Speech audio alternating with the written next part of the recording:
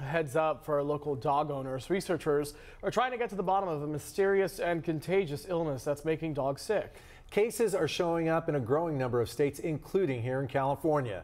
CBS 8's Rocio De La Fe joins us live in studio with what dog owners need to know. Rocio. Yeah, well, vets are struggling to find answers for pet owners because they don't know exactly what's causing this new respiratory illness.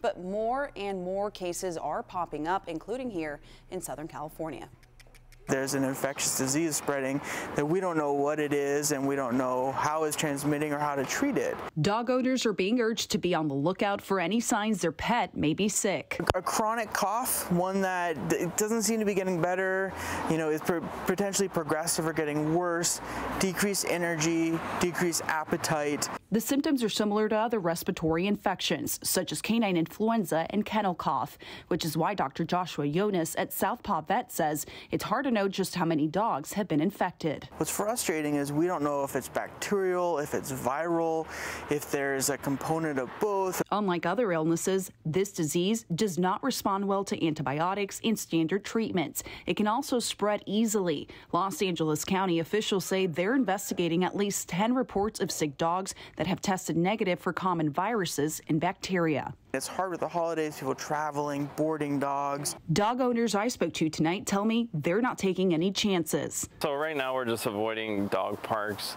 and mainly just getting him together with dogs that we do know or families that we do know. Dr. Jonas is urging dog owners to make sure their pets have the updated recommended vaccines. To prevent infection, pet owners are advised to avoid traveling with pets and minimize exposure in social settings like dog parks, boarding, and daycare. And if not treated, this illness can develop into pneumonia, which can be deadly. And we should clarify that this appears to be unrelated to a bacterial outbreak at the uh, San Diego Humane Society. Right now, they have hundreds of dogs in their care, and they can't isolate a suspected sick dog. Instead, they're treating every dog with antibiotics to prevent the illness from spreading.